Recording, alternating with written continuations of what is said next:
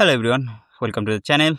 Today we have some news about RTX 5090. The GALAX RTX 5090D HOF, the same GPU that breaks multiple world records, just had its insane 2001 watt BIOS leak online. So let's break it down. In the entire RTX 50 series lineup, there's really just one true king of overclocks, and that is GALAX HOF OC Lab Edition because it is only RTX 5090D GPU that comes with dual 16-pin power connector, which is rare. Even Nvidia's official specs doesn't push this far. Normally RTX 5090D is locked to save power limit but with this leak extreme overclocking BIOS the card can now draw up to 2001 watt of power by, by default. That's more than double what more gaming GPUs are not even rated for. Now don't get too excited unless you actually own 5090D HOF model because this BIOS only work with that card, not the standard RTX 5090 and definitely not with the other brand. You technically still try stun modes and other risky stuff but without professional tools you probably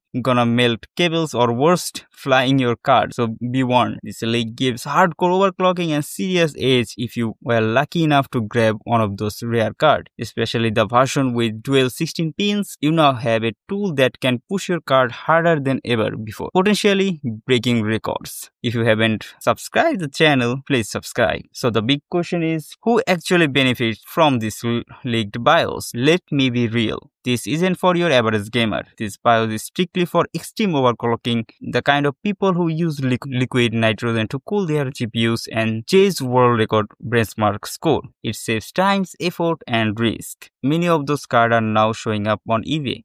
This leaked BIOS might actually drive price even higher for dual 16 pin version.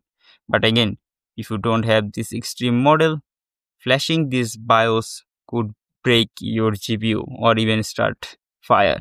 So it's definitely not for everyone. Thanks for watching.